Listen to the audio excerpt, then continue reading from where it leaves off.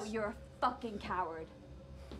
You're a fucking coward, Luke, and I'm a fucking idiot for trying to save you from yourself!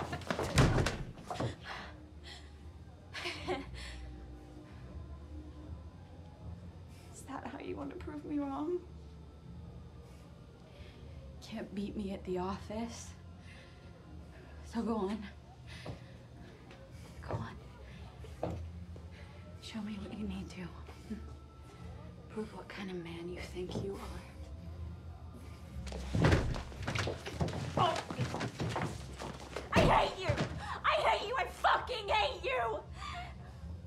I hate you! I hate you!